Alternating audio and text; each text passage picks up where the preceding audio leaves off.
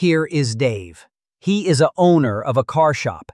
In business, he imports each car for $27,000 and sell it for $31,000. That's results 600 cars sold per year. During his business, he surveyed his customers and found out that, with every time the car price lower around $1,000, there will be more 200 buyers purchase in his shop per year. That sounds very amazing until Dave realizes that he can't lower than 3100,000 for each car. Otherwise, he will get nothing and start to lose. So how Dave could do to balance between profit and lose for the maximum profit. First, let's call the price reducing times is X per $1,000.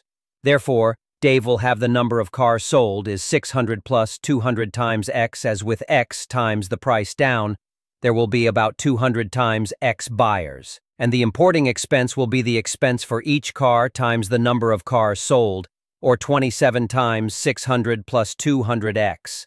Similarly, Dave will have the revenue by the new price is 600 plus 200X times 31 minus X.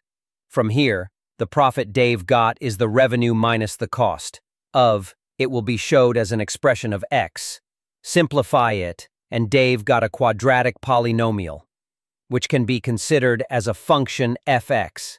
And as Dave has learned on school, a quadratic function will has a vertex of the x value. xm is equal minus b over 2 times a, and the vertex value of the function is equal c minus b square over 4 times a. Replace each Vader and Dave got an answer 0.5 and 2450.